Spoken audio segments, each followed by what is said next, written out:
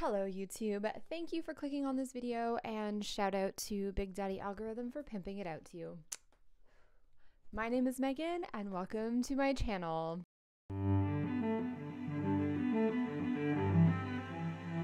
So, coming at you with the first video of 2024. If you're new here, hi, I'm Meghan, and I talk about fashion history, fashion, sewing tutorials, and like LGBTQ plus stuff on this channel. So, if that's your jam, stick around, hit that subscribe button. I'm almost at a thousand subscribers, and it's my goal to get there within the next month. So, it would be awesome if you wanted to stick around, and if not, that's cool too. You do you. If you've been here before, hi, welcome back. I hope that you all had a fantastic New Year's and holiday season. It's already been a year and we're like seven days in now, so love that for me. Um, I hope that the rest of the year is a little bit quieter, but like somehow I don't think so. But anyway, we'll see what happens. For now, I'm coming at you with a new video about men's fashion and fashion history. It's been a while since I've done one of these, so I thought it's high time that we get back into it. That's what this channel was built on after all. So let's get into it. So, a while back, like way before Christmas, I put up a poll on my Instagram stories and on my community tab, and I asked you guys what you wanted to see for my next video. And overwhelmingly, the responses were in regards to men's fashion and why it's so boring. So I immediately set to work researching and scripting and quickly found that there are no shortage of videos on YouTube already on this topic. So,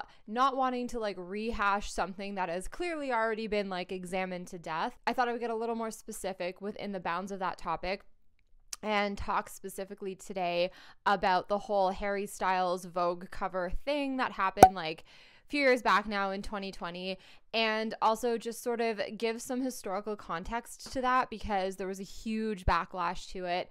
And all of the backlash just like did not take into consideration the actual historical context of like men wearing skirts and dresses because guess what? They did. And also guess what? Before like 200 years ago clothing was not as gendered as it is now. I mean it was like there were still different clothes for men and for women but things like patterns textures textiles colors were not gendered in the same way that they are now. So, we're going to talk a little bit about that today, and we're going to talk a little bit about um, fashion becoming a little more androgynous, which I'm a huge fan of because I love androgyny. This video has been really fun to research. I've been kind of picking away at it over the past couple of weeks. So, without further ado, let's get into it. So, one of my favorite fashion trends to come off of the runways in the past few years has been the menswear skirt. I love androgynous aesthetics, as you can probably tell by my like half shaved head and like the fact that I like frequently wear men's clothes and women's clothes at the same time. Um, but this is just like so hot. Like the whole idea of like men wearing skirts and dresses and corsets is like, ugh, so hot to me. Um, skirts for men have been on the rise for quite a few years now, and the very bravest of cis het dudes are starting to embrace them, even as right wing talking heads like Candace Owens from the Daily Wire rail against the decline of manly men. As a bit of a gender bendy queer woman myself, I absolutely adore the fact that fashion is becoming more and more androgynous. And I have like oceans of respect for the straight men who are embracing the tides and riding with the times instead of giving in to the temptation to retreat into reactionary, i.e., misogynistic online spaces to complain about how it's a sign that men are being erased or some other nonsense like that. I mean, there are men who are doing that in spades for sure. Like, there's no shortage of information information and videos about that out there either but um, there are a few straight men who are embracing more of that androgynous aesthetic, and I have nothing but respect for them. So if you're one of those straight guys and you're watching this, like, love to you. You're amazing. Keep doing what you're doing. So since I'm feeling a little gender bendy myself today, I'm going to womansplain masculinity to all of you, and we're going to do a bit of a deep dive into where all this like anti-skirt hysteria is coming from. That's right. I said hysteria. The men folk are just being overly emotional about this, if you ask me. Um, but we're gonna take a look at like where this idea of skirts and dresses being gendered even comes from, and is there a historical precedent for it?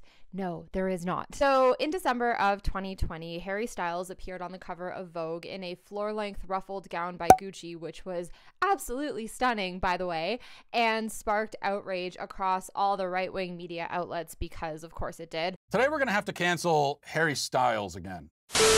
It's groundbreaking. He's wearing a dress on the cover of a man. Ooh, ooh, ooh. And maybe men should actually, you know, act masculine. Women do not like men that wear dresses. Even if they were dating Harry Styles, they wouldn't Okay. want him wearing a dress. Yeah. They'd be like, why are you wearing a ball gown today? Harry Styles in a dress is just my type. He looks so handsome. He looks so great.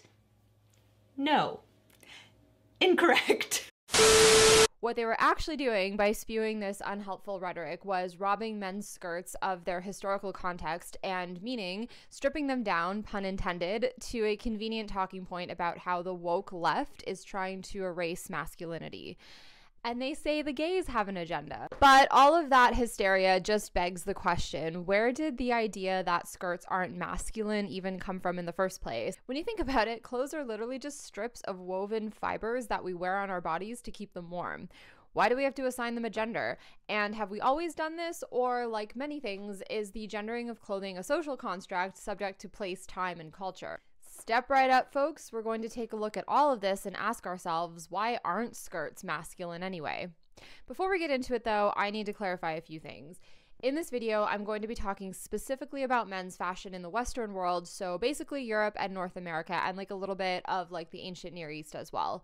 There's a whole deep dive I could do about fashion in other places like India because that is fascinating too, but I don't know much about it and I wouldn't be able to do it justice. So I'm just going to stick to what I know here and like stick to my own cultural analysis. I also want to clarify that I'm not an expert on this topic by any means. I don't have a degree in fashion history and I haven't written any theses or papers or done any real academic research on the topic. I have done a lot of neurodivergent deep dives, sources below as always. And if you've been watching this channel for a while, then you'll know that fashion history is one of my special interests. So I do feel like I know enough to at least make this video. That being said, if this sparks an interest or makes you want to learn more, I will leave some links in the description below from people who really are experts so that you can dive into it more deeply if that's what you want to do. Also, when I talk about fashion in any kind of historical context, I want to be super clear that I'm talking about rich people. Before the 20th century, and actually before the 1960s, if we want to get really specific, ordinary working class people did not participate in fashion. That's because fast fashion in its modern form didn't really exist yet. So, in order to get new clothes, you would have had to visit a tailor or a dressmaker and have them make clothes specifically for you and your body, which was an expensive and time consuming process that required you to have A, the money to pay for it, and B, the free time to attend multiple fittings and consultations, which if you were like a working class person, you didn't have either of those things. For like all of human history up to World War 1, clothes took a long time to make, and textile production was a highly skilled and mostly manual process. Fabric was expensive and it was treated like a precious commodity. Household linens and outer clothing were considered family heirlooms and passed down from parents to children, even in wealthy households. On average, people owned less clothing, even people who were rich, but the clothes they did own would have been bespoke and of a much better quality than anything fast fashion can give us today. If you were an ordinary working class person, then your options for clothing would have been limited in terms of color, cut, fabrics, and styles because you wouldn't have been able to afford luxury textiles like silk, velvet, and imported cotton, nor would you have been able to afford the services of the most talented tailors and dressmakers. A lot of your clothes would have been hand me downs and homemade, and if you were a second or third child in the family, then it's possible you would have never owned a brand new piece of clothing in your entire life because, generally speaking, new clothes were given to the oldest sibling who got to pick the fabrics and the styles, and then they would get passed down to the younger ones as they gradually were worn out. When working class people did spend money on clothing, they would have wanted it to be of the highest quality they could afford and in a style that wasn't too trendy or fashionable because it would have had to last them a lifetime. But rich people could afford to be more cavalier with their clothing choices because they would have been able to afford to have new clothes made more often and also to have old clothes remade as styles changed. Because of this, rich people could afford to keep up with fashion, so they were the ones who set the trends and then participated in them. So that's why when I talk about fashion, it's usually always about rich people. Unfortunately, poor and working class people simply couldn't afford to keep up with fashions for like most of human history, so they were effectively barred from participating in fashion until about the middle of the 20th century when synthetic textiles and fast fashion factories made clothing more cheap and accessible. So, whenever I talk about fashion on this channel in a historical context, I'm always talking about wealthy upper class people. This is important to keep in mind as we examine the role that fashion played in the lives of men throughout Western history. Skirts are one of the oldest garments worn by humans, as they can be made easily just by wrapping cloth around the body and fastening it in place. The oldest known skirt dates back to about 3900 BCE and was discovered in the Areni 1 cave complex in Armenia.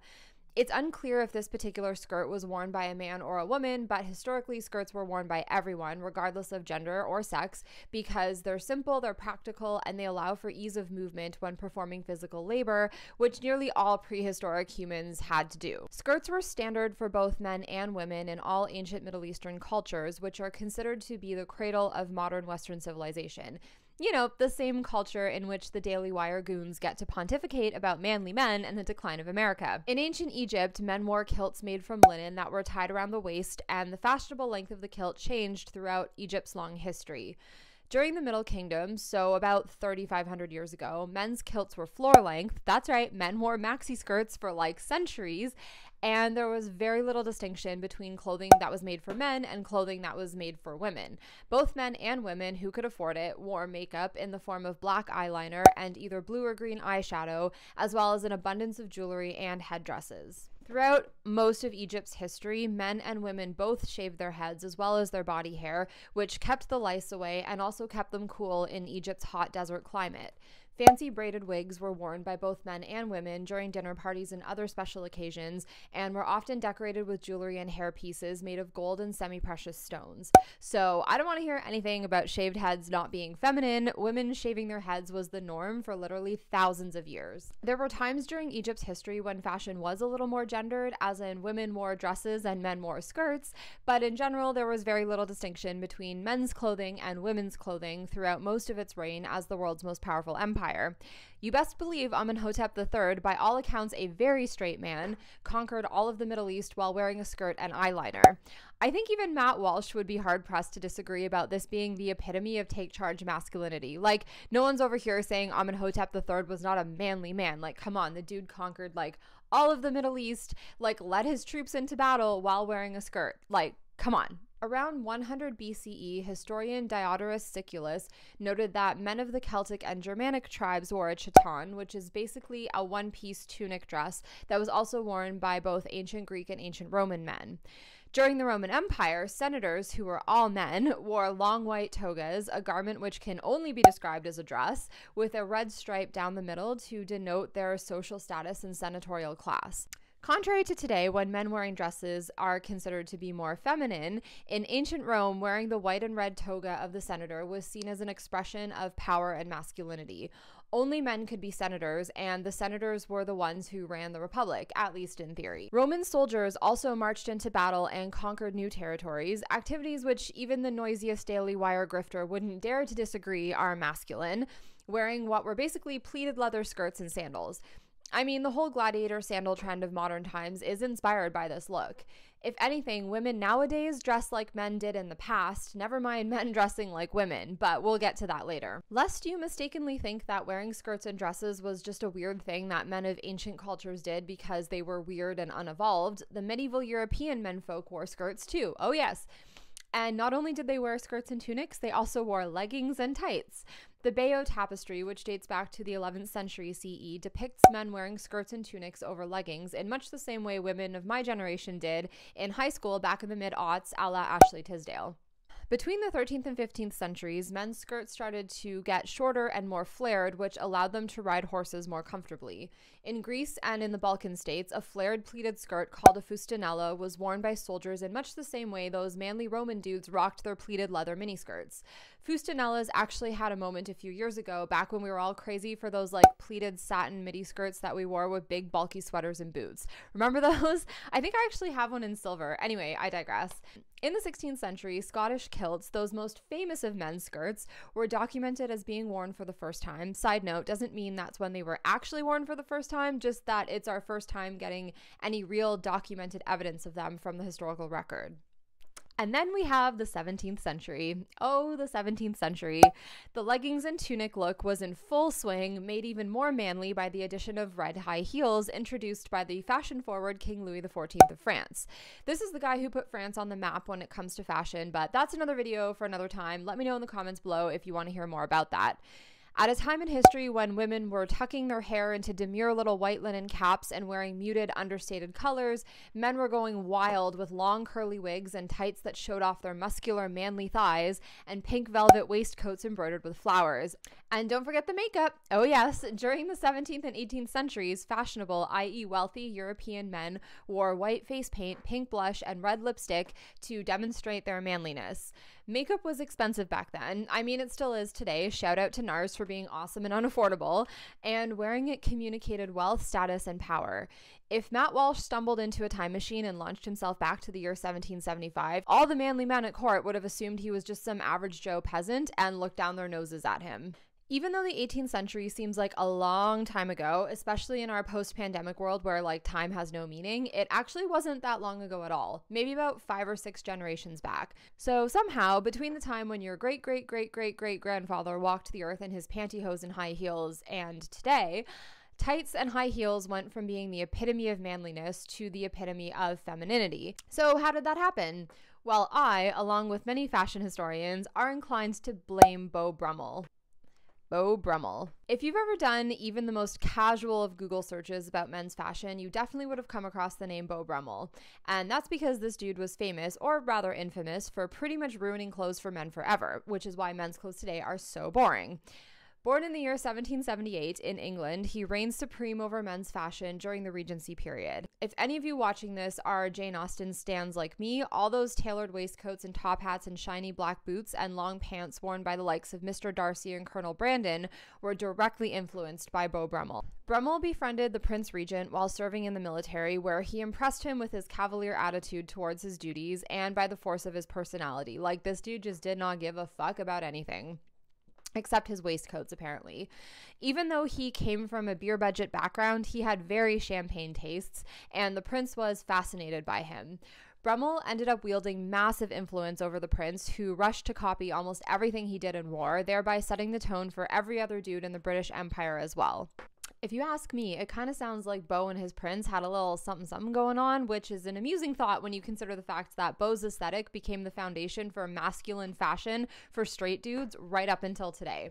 When Candace Owens went on her little ranty rant about men going woke and not looking masculine anymore, what she was really saying is that she's disappointed that men today are starting to dress more like Roman soldiers and less like a queer dude from the Regency period. Beau Brummell rejected the ornate clothing of the Georgian period, eschewing the powdered wigs and tights and heavily embroidered. oh my god heavily embroidered jackets and makeup that had been the standard for menswear for the past two centuries. Instead, he preferred simple, understated, but immaculately tailored pantsuits in dark colors, contrasted with immaculate white cravats. He wore his hair in a short cropped style. Before that, men had worn their locks long and curly, often tying them back into a ponytail with like cute little silk ribbons. His style of dress was influenced by the Great Male Renunciation, i.e., the Manosphere 1.0, where men all across Europe renounced bright colors, embellishments, and variety in their clothing, leaving those things to women's fashions. Instead of focusing on accessories, trimmings, and overall aesthetics, they all adopted the pantsuit uniform and focused on tiny details like the cut and quality of fabric to differentiate themselves from one another. The menfolk relinquished their claim to beauty, which up until that point had not been a gendered thing. Both men and women tried their best to be beautiful for like most of human history. And instead of that, they focused on utility and usefulness. Prioritizing usefulness over beauty might seem to us like a masculine trait, but that has nothing to do with sex, gender, or biology, and everything to do with history and culture. It begs the question what happened at the end of the 18th century to change men's relationship to their clothing? The Enlightenment.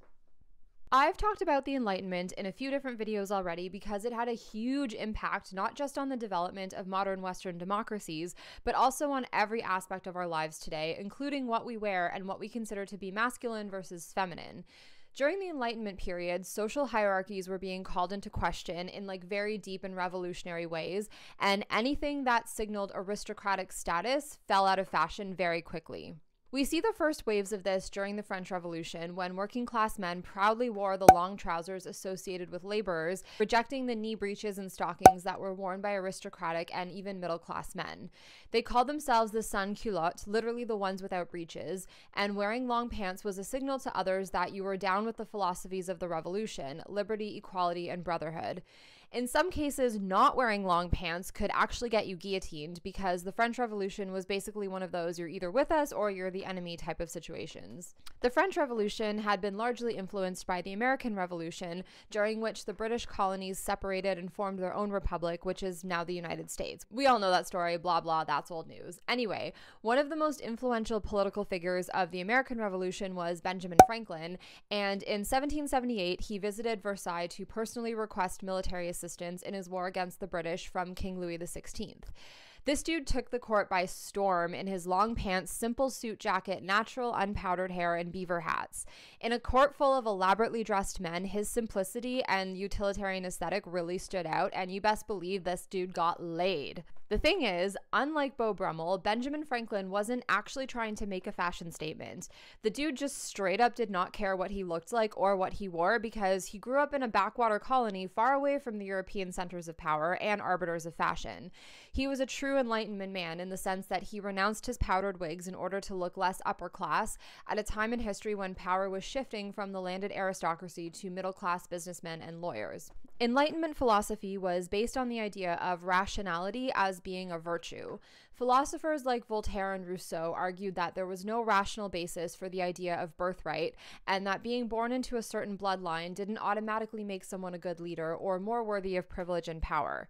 It's sound reasoning, and a lot of what these guys argued for makes a lot of sense. That being said, literally every problem we face as a society today is a result of Enlightenment philosophy being taken way too far, and I will die on this hill. Before the end of the 18th century, we were actually making a lot of social progress in the areas of LGBTQIA plus acceptance, feminism, and social mobility. Hear me out.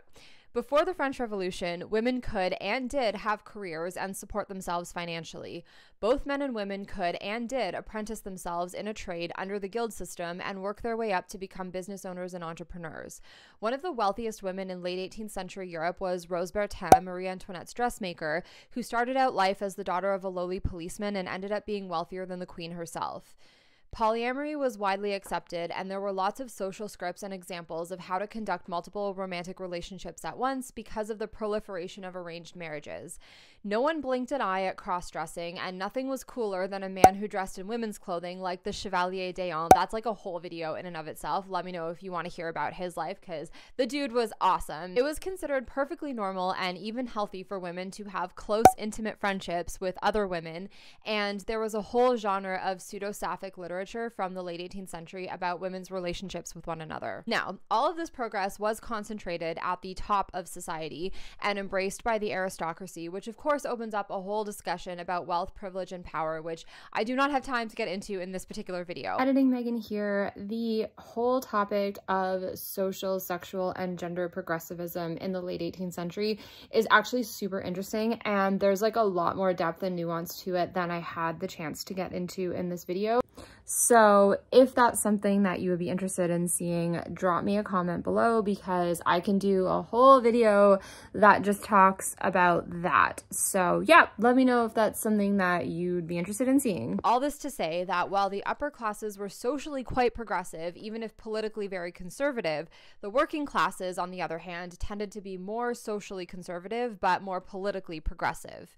They quite rightly wanted equality and liberty in the political sense, meaning that they wanted to be able to have a say in how their country was run and change the law so that everyone was treated equally and there were no special privileges for the aristocrats. But in terms of how people actually conducted themselves in society, the working classes tended to be quite conservative. This is very different from how it is today because nowadays, if you're politically liberal, then you're probably also socially liberal. I'm sure someone somewhere out there is a staunch Bernie supporter and also a conservative Catholic, but that is not the norm by any means. In late 18th century France, though, it would have been. And if this was late 18th century France, the Daily Wire crew would all be enthusiastic supporters of trans and queer people, while at the same time arguing that authoritarian dictators make the best leaders. This is basically how things were at the end of the 18th century when men's fashion began to change. Those who did support the revolution and the Enlightenment were rebelling not just against the political domination, but also the culture of the aristocracy. Things like sapphic relationships, cross dressing, and polyamory were seen as being hedonistic, aristocratic nonsense that served no purpose other than self gratification, and all the social progress that had been set in motion was vehemently rejected by the revolutionaries in favor of Enlightenment ideas. At its core, Enlightenment philosophy is about preserving the natural order of things. Rousseau's writings are centered around the idea of returning to the natural state, and this influenced everything from fashion to gardening to politics to philosophies on child rearing. And naturally, part of embracing a more natural state is a monogamous relationship between a cis man and a cis woman, forged for the purpose of birthing and raising cis het babies who can grow up to become good citizens of a democratic state. Rousseau used the theory of gender complementarity to base his idea of the two spheres, the public and private. The public public sphere of the commercial economy and state was to be driven by men and their rational calculation and self interest. The principles by which the public sphere should be governed were laid out in the social contract published in 1762. The private sphere of the family was to be driven by women due to their natural virtues. Sound familiar? If it doesn't, just go pursue some tradwife TikToks and it'll be familiar in no time. Editing Meghan coming at you again. I just uploaded everything to YouTube and then got a copyright claim for one of the TikTok videos that I included in this little upcoming segment. So I'm going to just do a voiceover and mute the audio so that I don't get punished for this. So the next 10 seconds will just be me talking. So apologies for that. Um, the music was much better, but y'all gotta live with this. Five ways to submit to your husband. 1. Let him take the lead. 2. Don't criticize or nag him. 3. Value his input and yield to his desires. 4. Listen intently to his thoughts. 5. Speak well of him to others. Baby, I'm yours. Baby, I'm yours.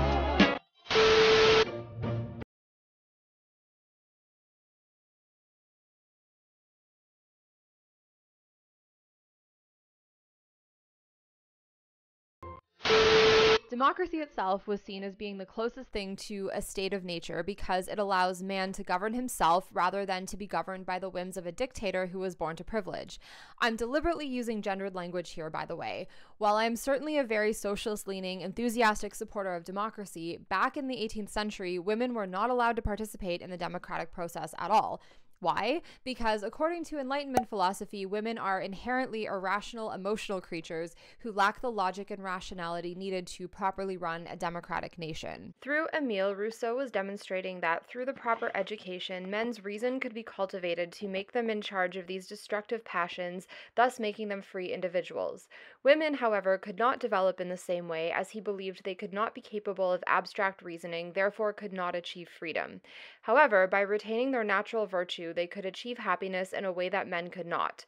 For this reason, Rousseau believed that women who tried to cultivate their reason were foolish. By defying their nature, they were deserting happiness that only they could enjoy. Enlightenment philosophers argued that women were frivolous and emotional, whereas men were rational and logical. So, when that became the dominant cultural ideal, men began to renounce the colorful, complicated clothing that was worn by the upper classes in favor of more functional, utilitarian outfits that demonstrated how logical and down to earth they were all of a sudden masculinity was ascribed this quality of rationality, and we still haven't quite managed to separate ourselves from that all the way up to today. There is no scientific or biological evidence for this. Being rational and down to earth is a personality trait, not a sex characteristic. Yet somehow we not only still ascribe it to masculinity, but actually idealize it. There's nothing actually wrong with being frivolous or flashy. Expressing yourself through your appearance is just another way to communicate with people in your immediate environment. It's a way to make make art to play, to have fun.